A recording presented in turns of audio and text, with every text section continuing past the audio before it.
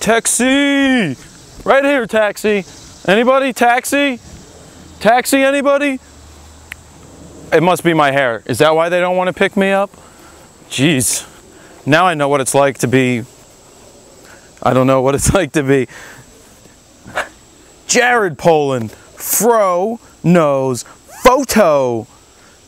I'm here with an unboxing. I already opened it, but we'll make pretend I didn't here. We have an unboxing. It's not been opened yet. Here we go. What is inside? Let's pull it out. All right, here it is. This is a think tank. What do they call this thing? Glass taxi? Awesome. I mean, look at this bag. It's a backpack. It looks cool. It's nice and padded. Smells nice. We'll get to what it smells like in a minute. But let's go through this bag.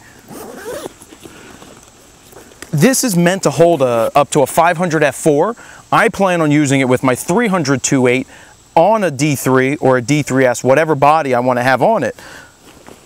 Oh, neat. It's got a shoulder strap in there. Awesome think tank guide. Awesome guidebook. This is very smart and it just has all the information that you would need. Other straps, I'm going to assume that these straps are for putting a monopod there or something like that. And of course you have the classic think tank raincoats that are that they give you with everything.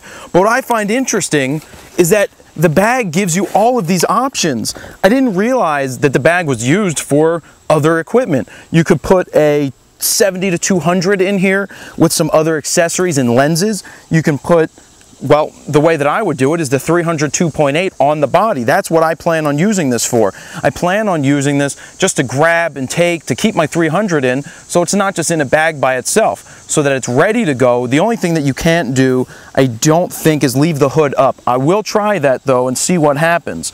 But again, their inserts are amazing. They give you more inserts than you're going to need so you can use them with your other think tank products.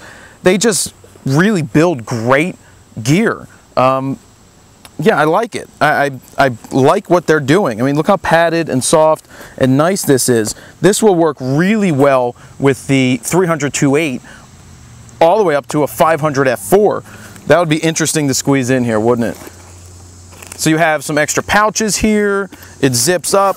Doesn't look like a camera bag, which I still don't understand the big deal with it being disguised or looking like a camera bag. I could care less. Oh, cool. These straps easily unhook. You have a strap here to go across the chest.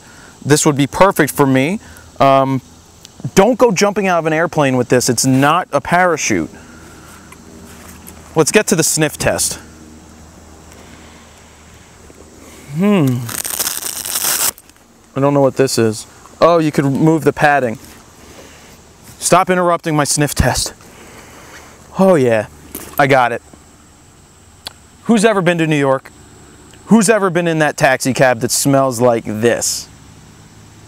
All right, fine. It's a good smelling taxi cab. I'm going to assume that it's like a London taxi. It probably smells like tea in London, right? In the taxi, everywhere you go, tea. So I wanted to say it smells like something else in a New York City taxi, but you can think of what I would was going to say and I just won't say it. So that is the Think Tank Glass Taxi and I really like this. I can't wait to put my 300 2.8 in it.